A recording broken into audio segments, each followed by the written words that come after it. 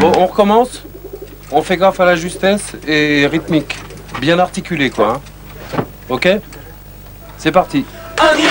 Pour faire un disque, la première étape après la composition de la chanson, c'est bien sûr l'enregistrement de la musique et de la voix. Et le tout sur un magnétophone multipiste. Vous venez écouter? De nombreux réglages sont bien sûr indispensables pour obtenir la qualité du son.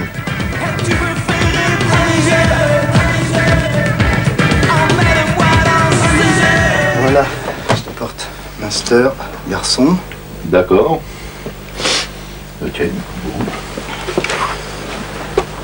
Donc là, ça va être la lecture. C'est la lecture de la bande.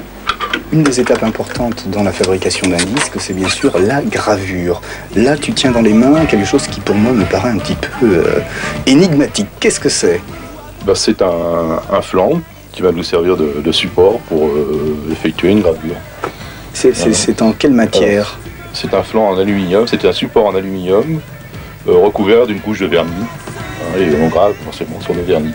Le procédé de gravure, c'est une aiguille? C'est un burin Qui oscille euh, dans un champ magnétique créé par deux bobines.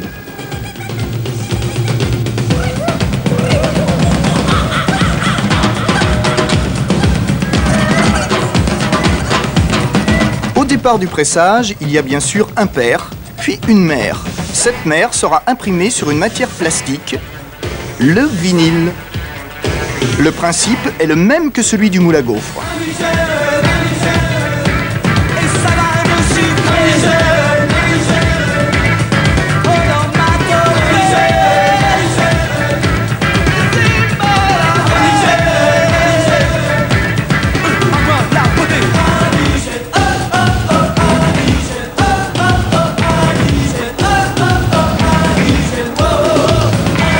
Fait un document d'exécution qui comporte les textes définitifs, les photos et la mise en couleur, qui va permettre de faire des films et qui va permettre d'imprimer la pochette.